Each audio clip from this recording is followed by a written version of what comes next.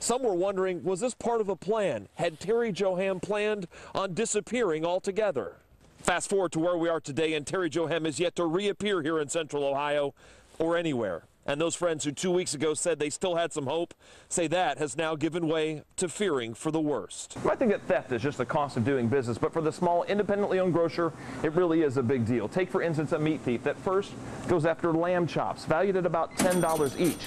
Then they might move on to something a little bit more expensive, like this. This is brisket, valued at about $20. And then they still haven't had enough. They go after steaks. Each one of these at $15 each. You add all that up, and what you have is about $70 worth of product gone in about 30 seconds. Three brand new elementary schools for the city of Lancaster, which means a lot of transition. First and foremost, for the elementary school students who get up each and every day. There's the obvious transition for families as well. New traffic patterns in and around their homes. And if they're walking their children to school or maybe going to a brand new bus stop, it's likely one they've never actually seen before. And then there's a transition of the bus driver. Last spring, Lancaster City Schools actually put them on the road. But first, we begin with NBC4's Marcus Thorpe, who is on the ground where dozens of firefighters, 75 in all, battling the intense flames. Marcus, what's the latest? About two hours of fighting, and they are still battling at this point defensively at that because it is simply just a huge fire that they can't get too close to. They're just trying to contain it at this point. I'll step out and give you a closer look. You can see that the flames are still coming out of the top and dark smoke that is still coming here from the 2600 block of Fisher Road. They have tapped into multiple lines here, trying to get as much water as they can on a defensive battle right now. No evacuations at this point. It is our understanding from one of the battalion chiefs here at the scene that there's possibly some vegetation that's on the inside of this building. And obviously with that, it's going to burn for quite a while. They are putting about 1,500 gallons per minute per nozzle, and they have about six nozzles up there right now. So going through an awful lot of water. A car smashed into a home on Penfield Drive right into the homeowner's bedroom. NBC4's Marcus Thorpe has been following this story all morning. Marcus, did they ever find that driver? Uh, 18 years old. That's what we know at this point. We know that police are still looking for him. Let me walk you through exactly what happened with this early this morning. Now, this driver, police say coming at a higher rate of speed, actually came right over what we see here. This is the curb, and you can actually follow the tracks all the way up to the house, and you can see it is still badly damaged, that house. Now, you think it would stop there, correct? But it didn't. In fact, the 18-year-old, he bolts a 14-year-old girl who was actually in the car with him, then gets into the driver's seat, and she pulls out and tries to go this way. Now, eventually, she was caught caught because the owner of this house actually got out of his home. Breaking news police searching for the driver who hit a pedestrian and left the scene. NBC4's Marcus Thorpe joins us live from that scene in East Columbus at Livingston and Alum Creek. Good morning. Yeah, this is just between Nelson and Alum Creek here on East Livingston. And you can see that the accident investigation team is here from Columbus Police interviewing some of the witnesses here from this area. They've got crime scene tape that has completely lined this area. And then look right there in the middle of the road, you can see some of the debris. You can actually see some of the clothing as well from where this person was hit. In fact, if you look, there is a shoe on the left, and then about uh, 20 or 30 paces all the way to the right is a second shoe. So this person was hit very hard. Some of the witnesses here at the scene actually had a chance to talk to us and said that they saw the person get hit, then the driver pull into a Shell gas station, which is right at the corner of Alum Creek and Livingston. He actually got out and took a peek at the person who was laying in the middle of the street, then back in his car and takes off. That's when police start the pursuit of trying to find out exactly who was responsible. I want to take you to a secondary scene. This is live pictures right now from Old Livingston where they have a vehicle there. Now, our crew there at the scene says there appears to be somebody in the back of a cruiser that is in handcuffs at this point. They believe this might be the car that is involved in this pedestrian hit incident. No word yet on the condition of the person that was hit, but the witness here at the scene says it didn't appear that that person was actually moving for a couple of minutes until those medics had a chance to get here and still unclear exactly how that person is doing at the hospital at Grant this morning. No matter what angle you look for or filter you look through, it seems body cameras are coming to the city of Columbus.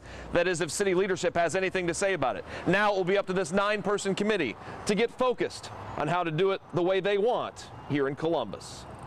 You've been dispatched on an officer in trouble call. He's got my gun. He's got my gun.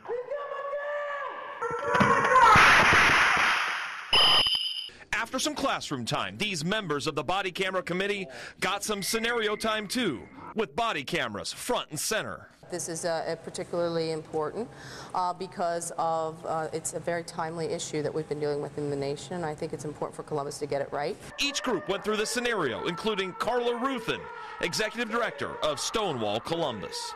You know, our police officers have a very tough job. These are life and death situations every single minute of every single day. It was officer down. In some cases, the cameras came off. Other times, you could see exactly what the officers would see. Then the chance for the committee to come back to the classrooms, discuss what they were seeing, and some concerns or questions they might have had. I believe it's one thing to read about and to watch uh, uh, the news about body cameras. It's another thing to actually uh, experience scenarios in which they could be utilized. And that's exactly what they want in phase one here. But make no mistake, it certainly appears body cameras, they're happening. How can we best implement body cameras here in the city of Columbus? That's our mission. But as far as this committee is concerned, this is happening in Yes. Columbus. Yes. Over the next several months, that committee will be listening to speakers and doing more research to figure out exactly how they want to move forward on the body camera issue here in the city of Columbus. Marcus Thorpe, NBC4. Aaliyah Hanna lived a nightmare, and her four year old daughter Bailey saw it happen. He was waiting in my daughter's room and attacked me. Investigators say the attacker was Jason Yarhouse, an ex boyfriend. He tied my hands with zip ties, hit me twice in the back of my head, covered in blood. Couldn't, like, my head was pounding. I didn't know really what all he had done. She screamed at her young daughter to get out and get help. And when I yelled at my daughter to leave, I thought that was the last time I was going to see her. She says the violence continued as Yarhouse looked for his keys. Then the neighbor came back. Said if you call the cops, I'll kill her. The neighbor left and called 911. The suspect got out of there too, and Hannah was able to call 911 as well.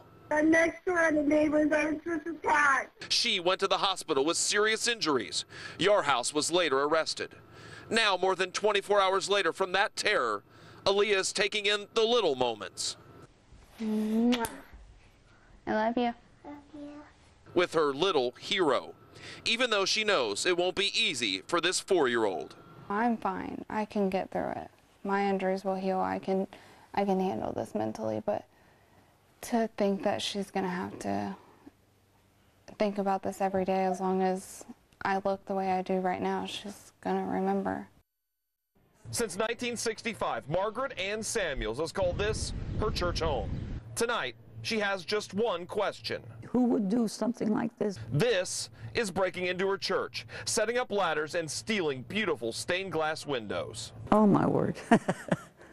it, it, it, it's you know it's devastating in many ways. Um, part of it is just the notion of loss. Deb Bergman is the pastor of this, the oldest worshiping congregation in the area. This is a congregation that's small and struggling, and and this is a place that feels holy to us. To have someone violate that is just hard to deal with. Not just the stained glass windows that these thieves were after. In fact, they wanted to get inside some of the office spaces. So they pushed through this window and actually broke the lock. You can see right there just how much damage they were able to do. Once inside, they looked through everything they could. It's still unclear exactly how much they got away with. But they took plenty from this group. For now, a little faith in their fellow man. Something that could be turned around. Someone might be moved in their heart to return things to us, and maybe maybe find some repentance and some grace themselves. But they will never, not even for a thief, close themselves off from the work to be done. The one thing we are we are all united on is that this will not cause us to close ourselves off from the world. This is proof the world needs us.